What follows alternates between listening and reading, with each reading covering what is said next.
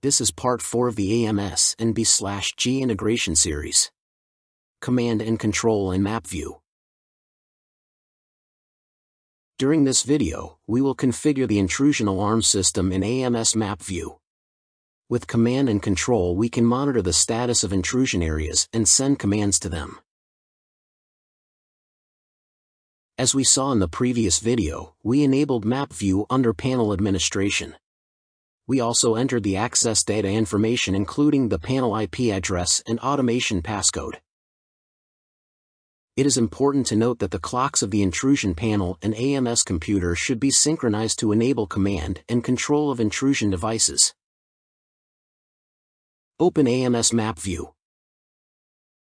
Reload the map if necessary. In the device tree, there is a grouping for intrusion panels. Click this category to see available panels. Any panel that is enabled for Map View under the Panel Administration dialog will appear in this list. The panel can be expanded to show intrusion areas.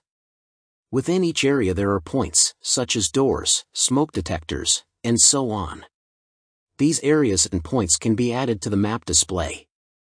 If and when these points go into alarm, there will be an indication on the map.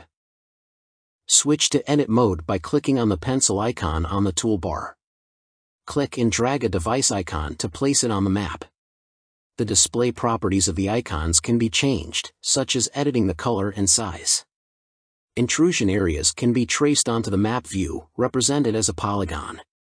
Left-click on an area and drag and drop onto map display there's a pop-up window that gives instructions. We will draw areas on the map for the shipping room and the office. Left-click at one corner and release. Continue around the perimeter of the area. Complete the polygon with a right-click.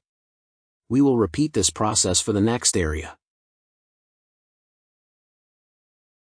When finished with defining intrusion areas, click the edit icon again the areas will be color-coded based on state. Right now the areas are unarmed. We arm the system from a keypad and the areas turn yellow. Hovering the mouse over the area shows Area On. Areas can be armed and disarmed by right-clicking on the area. A context menu appears with options. In the case that a point needs to be bypassed, the device icon can be right-clicked and this is an option in the context menu. an icon appears by the device to show that it is bypassed. The point can also be right-clicked and unbypassed. In the case of a faulted point, a hazard icon appears by the device. In the case of an alarm, the area will turn red and alarm icons will appear. The alarm can be silenced from the map display by right-clicking the area and clicking to silence alarm. The alarm appears in the alarm list. When clicking the event, the area will flash and the alarmed point will be indicated. In this scenario, the fire alarm has been connected to the access controller as an input to activate a threat level. This has put the doors in the facility into a permanent open state. To remove threat level, open Mac in Device Tree. Right-click on Mac and choose Deactivate Threat Level. After the smoke alarm, the sensor can also be reset directly from Map View. Note intrusion event limitation. Receiving of events and alarms depends on the network and system availability. Events and alarms are not repeated if the intrusion panel was offline at that time, and AMS will therefore not receive them.